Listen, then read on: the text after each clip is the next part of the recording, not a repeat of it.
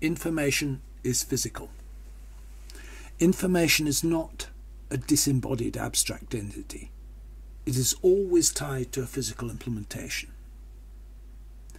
It is represented by engraving on a stone tablet, a spin, a charge, a hole in a punch card, a mark on paper, or some other equivalent. This ties the handling of information to all the possibilities and restrictions of our real physical world, its laws of physics, and its storehouse of available parts. This is from a paper by Landauer in 1996.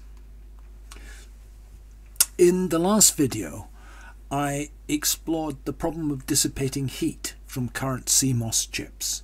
Now, given human creativity, we can expect that there'll be innovative gate designs that will allow even smaller components consuming less energy.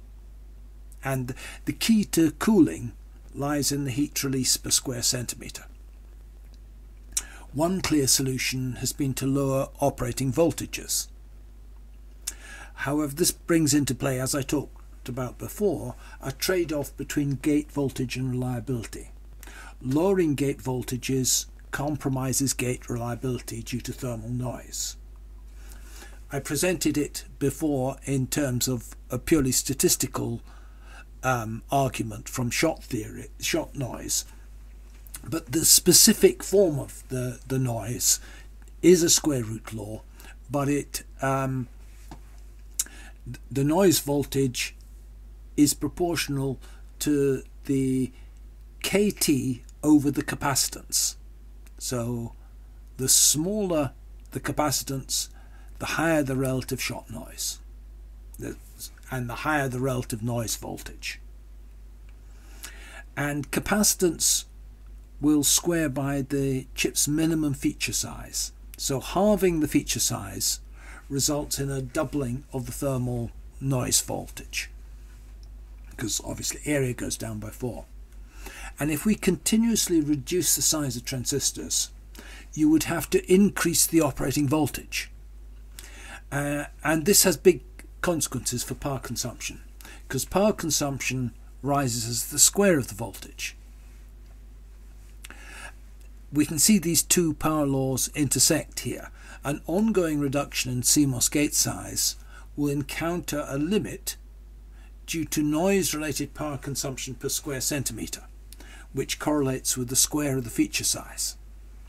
Ha halving the feature size would result under these circumstances, once you reached the threshold of, of um, thermal noise, to an increase in power consumption at a constant uh, uh, clock speed.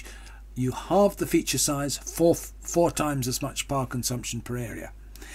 And this would effectively establish a minimum energy usage for reliable CMOS gate operations. Um, we've shown that progress continues to be made. Newer Apple chips are much more efficient in this respect than older um, AMD chips, but is there a ground floor to this? What we've said up to now is linked to the specific properties of CMOS. But there's a broader question. Is there a fundamental lower limit to the power consumption that any computer will have? Uh, the physicist Landauer, who I mentioned before, addressed this and saying, yes, there is. And his reasoning was what, what in that time a very innovative synthesis of Boltzmann and Shannon. He was able to well, let's see. The first point is he noted that if we build our computers of AND or and NOT gates, two of those gates or an AND are information destroying. There are two inputs in an AND gate and one output. This reduces the amount of information every time you go through an AND gate. And since information is equal to entropy, it would appear to be a violation of the second law of thermodynamics, which says you can't reduce the entropy of a closed system. question arises.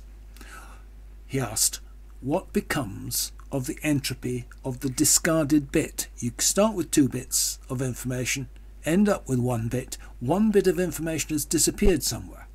What happens to it? It can't just simply disappear because you can't reduce the entropy of a closed system. So it must be converted into heat. And then by applying Boltzmann's constant, which we saw in the last equation for, for thermal noise, he calculates the minimum energy dissipation that can occur when a bit is discarded. I mean, a NOT gate has one input and one output and doesn't lose any bits. But both AND and OR gates have two inputs and one output and therefore lose a bit every time you go through them.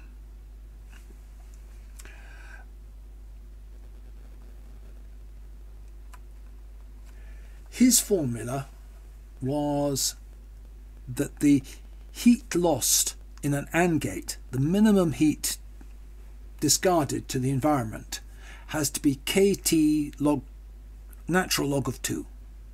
And why is kT are as before in the thermal noise equation. But the natural log of 2 is there because Boltzmann assumed natural logs when he computed k, whereas Shannon assumed log to the base 2 when measuring bits. But that's just a conversion between bases of logarithms.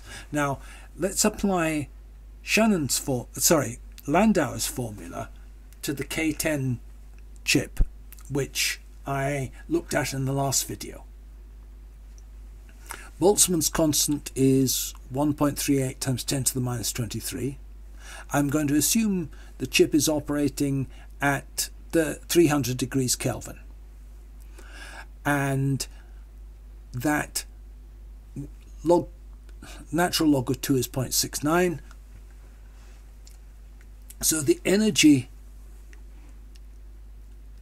released each time an AND gate operates, the minimum energy released, according to the laws of thermodynamics, has to be 2.87 times 10 to the minus 21 joules.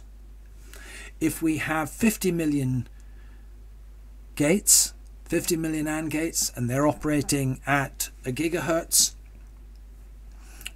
that boosts it up to 1.43 times 10 to the minus 4 watts. Now that is a tiny amount of electricity a tiny amount of power. It's about a millionth of what the chip uses at the moment. So this indicates that although modern chips are hit by thermal limits, the theoretical thermal limit set by the laws of thermodynamics is way, way less restrictive than what they're hit by at the moment. There is a, a great deal of room for technological improvement here.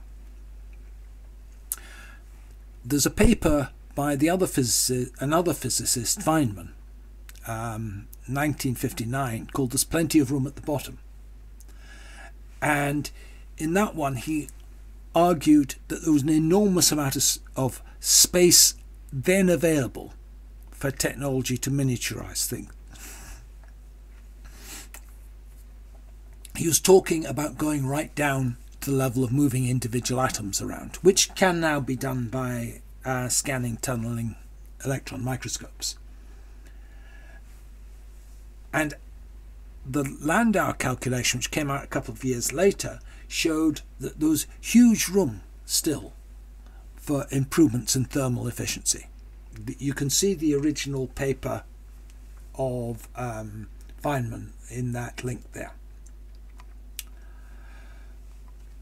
In the 80s, IBM, well, Landauer was an IBM physicist. In the 80s, IBM put lots of effort into superconducting computers as a way of getting close to the Landauer limit. Now, Feynman apparently wasn't aware of Landauer's work until the early 80s when Bennett brought to it to his notice. And in an 80, 1985 paper, Feynman went further and proposed a way round the Landauer limit. He suggested that if you had a computer made of reversible gates, then the increase in heat due to loss of information wouldn't occur. And he said, in principle, by quantum mechanics, you can construct computers which are non-dissipative, which don't gen generate waste heat. Now, he introduced what's now called the Feynman gate, and this is the diagram for the Feynman gate. It, it's obviously um, related to his convention for Feynman diagrams for particle interactions, but um, and he's, he's envisaging this as being due to single subatomic or atomic particles. It has this truth table here. Now, if you look at it, A and B are, can be viewed as inputs and P and Q as outputs. But if you look at the truth table, essentially A just gets copied to P. And B is the gets copied to Q being XORed by A as it goes by. So A is XORing with B in going to Q. Now, consequence of that is that there's no loss of information because if you look at the truth table here, you can always work out from what's in this row of the truth table, these columns of the truth table, which row it came from. Every one of these rows is different. So there is no loss of information. And Feynman further went on to show that it was in fact in principle possible to create a Feynman gate following the laws of quantum mechanics. Now that was almost 40 years ago. Now, four decades on from that, we're beginning to see the ideas that he talked about being put into practical technology. And the impasse that CMOS technology is heading for is gradually being bypassed by ideas which seemed very exciting but almost impossible to achieve when Feynman first put them forward back in 1985.